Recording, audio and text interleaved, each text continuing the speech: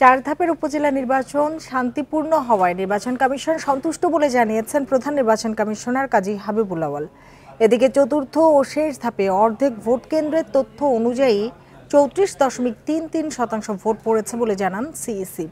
Vote গ্রহণ শেষে বিকেলে নির্বাচন কমিশন ভবনে তিনি এসব কথা বলেন।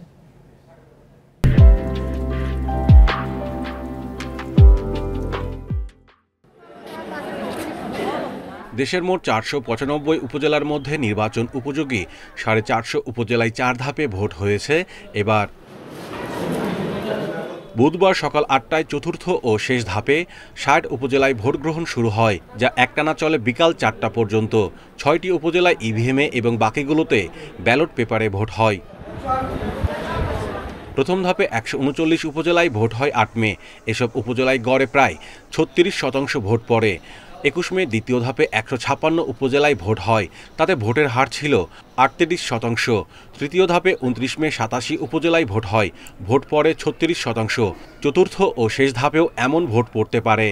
এ পর্যন্ত আমরা পাঁচ হাজার একশো চুচল্লিশটি কেন্দ্রের মধ্যে দুই হাজার উননব্বইটি কেন্দ্রের যে রেজাল্ট পেয়েছি, ওগুলোকে গড় করে দেখা যাচ্ছে।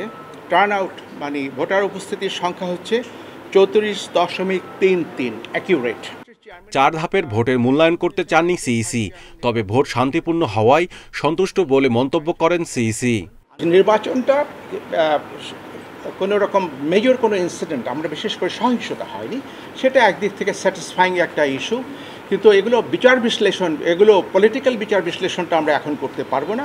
এগুলো অনেক কিছু আছে যারা বিচার বিশ্লেষণ করবেন। তখন ওদের কাছ থেকে যদি আমরা তথ্য পাত্র পাই তাহলে আমরা সেটা নিজেরা ঘূর্ণিঝড়ের কারণে স্থগিত থাকা বিশ উপজেলায় ভোট হবে আগামী নয় জুন। নির্বাচিত হয়েছেন একজন vice chairman. Mahmudul Hasan Independent News Dhaka.